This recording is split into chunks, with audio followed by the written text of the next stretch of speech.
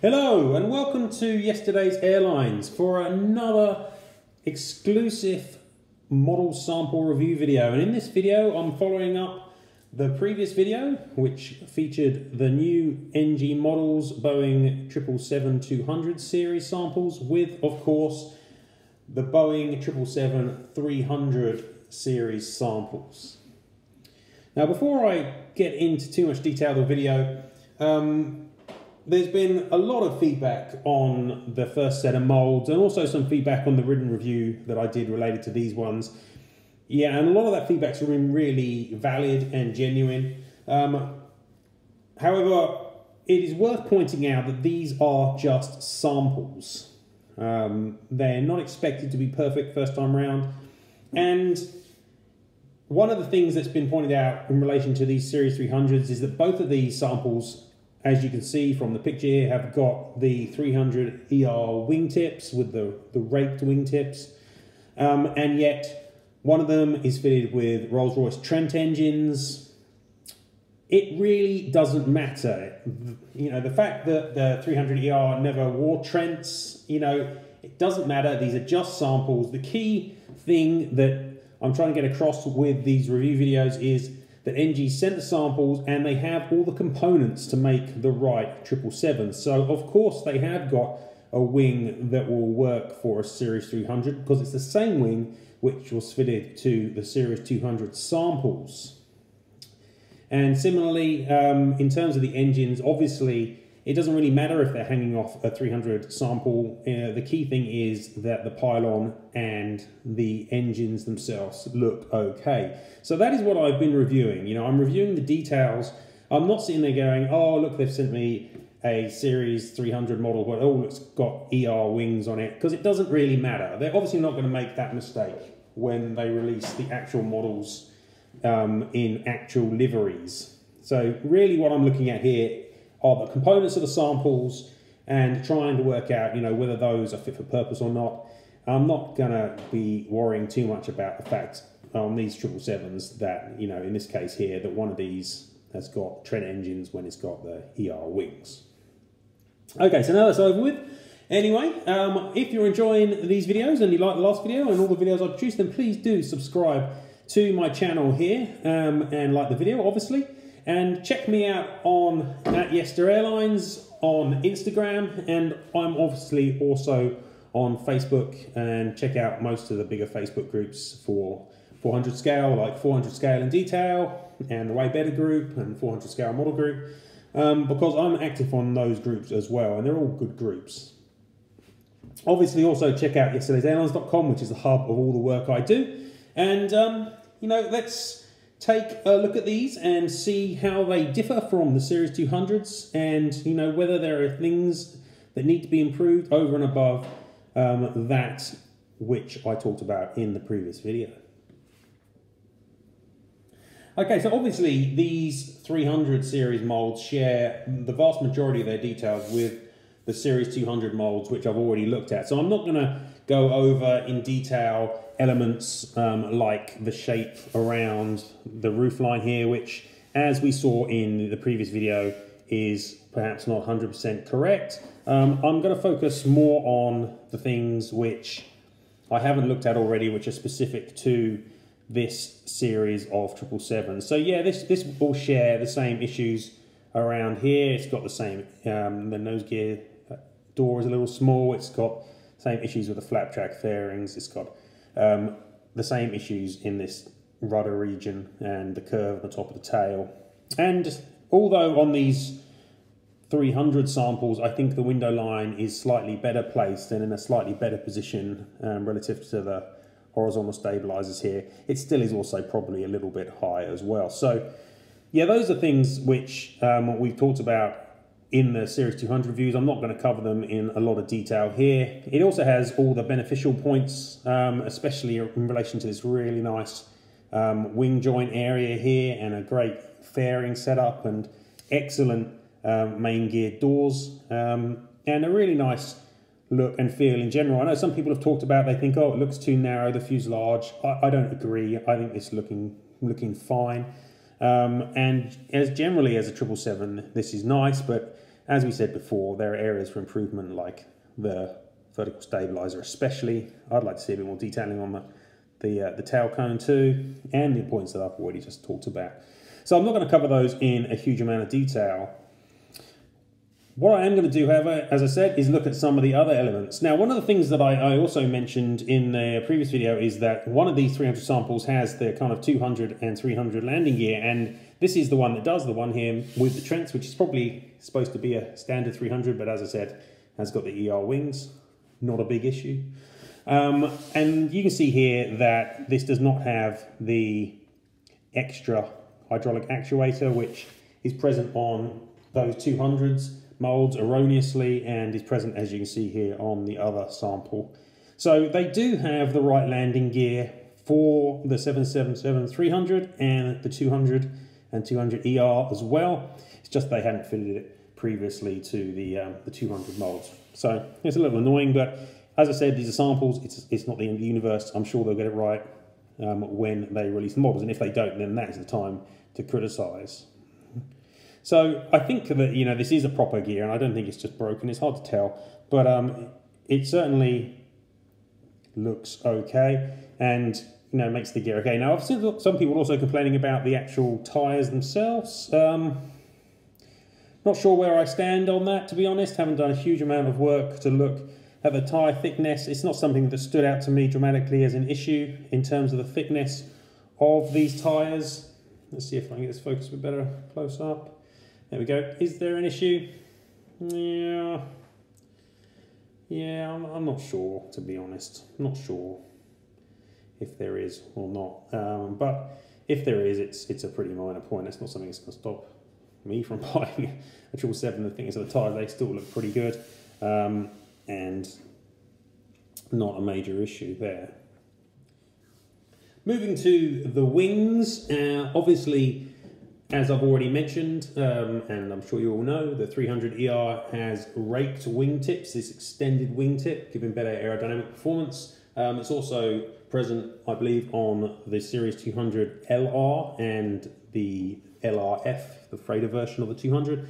Um, so let's take a closer look at the wingtips, um, see what we think of those, and if I can get them to focus a bit, it's be interesting. Here we go. You can see in quite close-up detail here that they've got quite a well-defined wingtip here. When you look in some pictures, it looks very much like this just goes to a point, um, but that isn't the case. And in fact, on the wingtip of the 300ER here, then it comes up and then it pushes back. And you can see here that they've got that change in angle quite nicely and a little spike at the back. So I'm quite liking the shape of the winglets, no dramatic issues from my area or from my opinion looking at the raked wingtips of these samples. Um, obviously when you look hyper detail it looks a bit weird but um, but broadly I think that they look good on the wing. They are a decent representation of a 777 wing um, for a 300 ER and I think you know those winglets uh, raked wingtips are looking looking good so no problem for me in terms of the wings, and it proves obviously that they have the right wing for those versions of the 777 200 and 300 that use this later wing. Um, this sample does seem to have some slightly rougher back edge here, but I'm sure that's just a sample thing. Okay.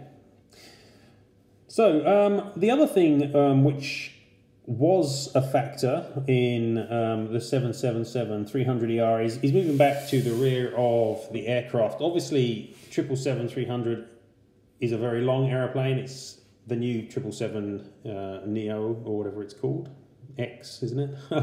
is longer than the 9, but um, the 777 300 at the time was a very long aircraft, as you can clearly see. And one of the things that was fitted to all of these early 777 300s and also to the ER series up until I think around 2015 or so was a tail bumper which should be visible here as a small fairing uh, and that is missing off the mold so that is something that I would like to see added on because it is relevant for probably I would say um, the majority of the production run of the Series 300 ER and all the production run of the original Series 300. So I think it would be well worth um, NG fitting this fairing on there.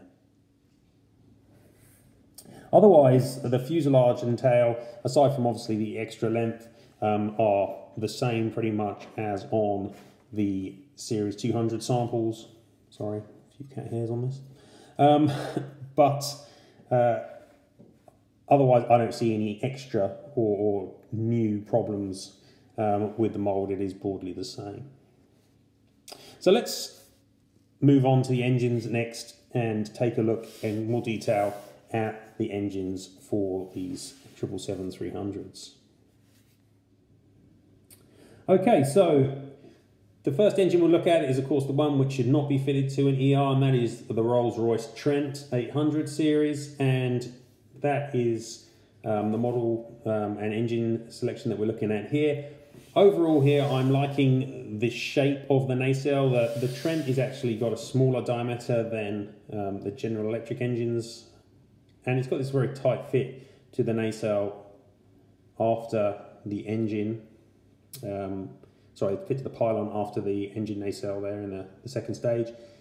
I haven't got any major concerns about the shape of the pylon and the way that it curves across to join the nacelle here and moving to the front um, I quite like the shape and indeed there's some really good detailing on the fan blades, which I hope you can see here. Now, one thing that I did notice, however, with these fan blades is that they appear to be facing the wrong way. They appear to be curving the wrong way. Um, on this engine here, you can see they, they seem to be curving in a clockwise direction, whereas um, when I looked at pictures of the real engine,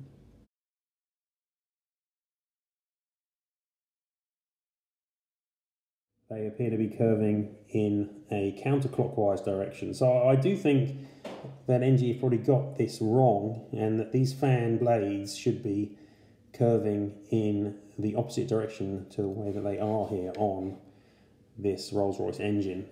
So that's something that, again, I'd like to see resolved, but otherwise the shape of the nacelle itself, the shape of the second stage and the exhausts uh, and the pylon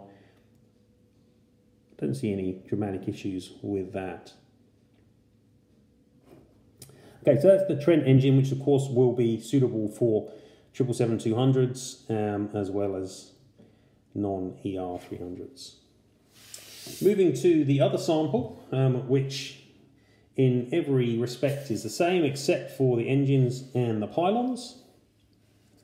And this one is wearing the famous General Electric GE90 110B series. I think this is to be a 115B. And this is a much larger engine in terms of the diameter of the actual engine itself. Um, if I just bring in the, the other engine here, you can see how much taller the engine is. And also that it, the blades inside uh, are much wider. And comparing this to the engine on the Series 200 sample, the GE uh, 90-94B, um, it is significantly taller, it is um, significantly longer, the nacelle, and the attachment point here of the pylon to the top of the nacelle is further back. And, and that looks good, and, and I'm quite happy with the way that that looks and feels in comparison to the, the real thing in the images that I have seen. So I don't really have any major concerns with this engine option. And looking at the fan blades, whereas on their GE90-94B, I think that they had the blades being too curvy and not straight enough. On the 115 here, I don't have any issues with the curve here. It's definitely supposed to have curvier blades and they look good. So again, it's a solid core engine, even though the detailing makes it look kind of like it isn't. Um, it's got some really nice three-dimensional detailing going on there, but behind the the fan blades, the engine is is solid. So I'm thinking that these look, you know, pretty good.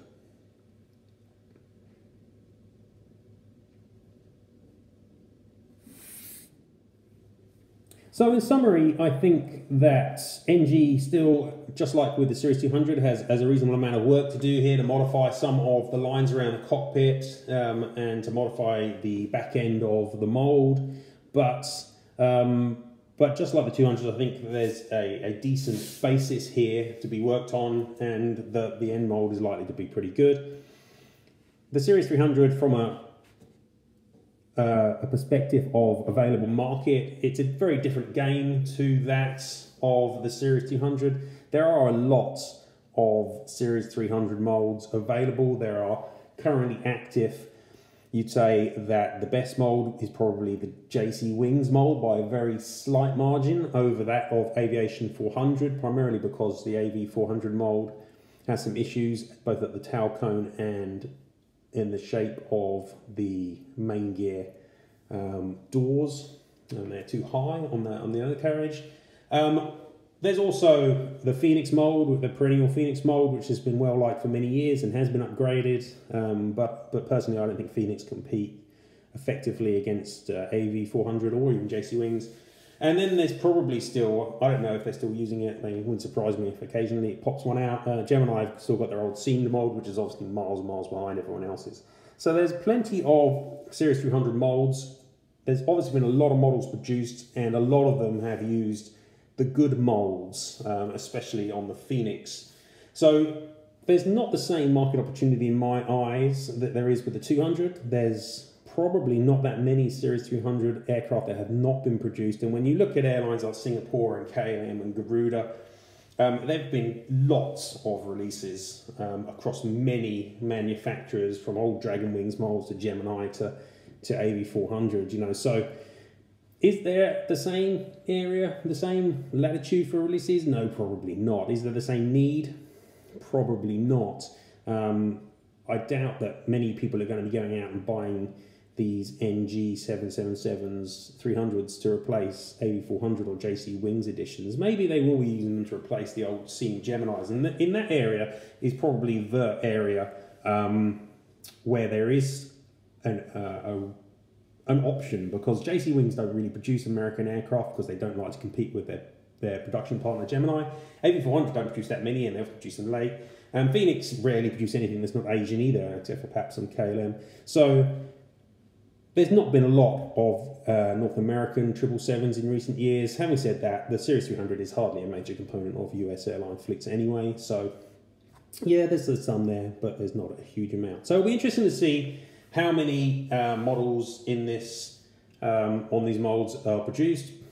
Probably quite a few because there seem to be an endless number of, of collectors in China that want these aircraft. But um, personally, I can't see myself getting a large number of them, no matter how good the mold is, simply because it's unlikely to be significantly better than that being produced by JC Wings or AV400 anyway. But um, if you're looking to be king of 400 scale, and NG models appear to be looking to do that, then you can't really not have a 777-300 mold. And so this mould fits nicely into their growing portfolio of moulds, which seems to be ever expanding. Um, and and yeah, um, I can see that they'll probably get some good use out of it and make some decent money off it. Um, but hey, it's it's not really the mould that sets my um, excitement level particularly high. But uh, I know there are lots of people who are interested in these, and especially perhaps some earlier Series 300 non-ER examples. There's possibly a wider option for models that are really needed in 400 scale. Anyway, um, that's kind of my quick roundup of these molds. I hope you've enjoyed the material I've produced over the last week or so. Um, looking at these NG model samples, I'm really looking forward to seeing NG um, tweak the molds to improve the lines and change elements and come up with a better 777. I don't know when they're going to end up releasing these to market, probably a little while away judging by um, the look of the molds at the moment, but I want to thank NG Models for sending me through these samples. I think it's excellent that they give people like myself and collectors like yourselves the option to see these molds early so that they can comment on them and make changes. It's great to have uh, a manufacturer that wants to work with the community to improve what's being released. So bravo to NG Models for that. And you know, and also bravo to you for all the comments that people have left. Thank you very much for um, commenting. You've certainly enriched the videos and the content that I've made.